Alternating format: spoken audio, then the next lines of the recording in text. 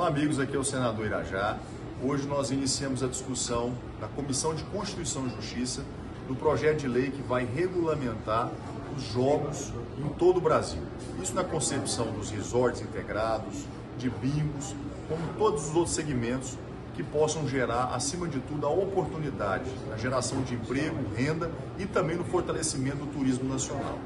Portanto, esse debate, que ainda será estendido até o plenário do Senado Federal, será a chance da gente poder fazer uma grande discussão nacional da importância que o calendário dos jogos em todo o mundo, que já é uma grande realidade que acontece em países na Europa, nos Estados Unidos, na Ásia, e que se mostrou um modelo exitoso para que nós possamos também implementar aqui no Brasil esse mesmo modelo de resorts integrados, que são grandes complexos turísticos, para poder fortalecer nossa economia. Poder Monitor, a ferramenta mais completa para monitorar os três poderes. Acesse agora poder.cc/monitor e ganhe 30 dias grátis.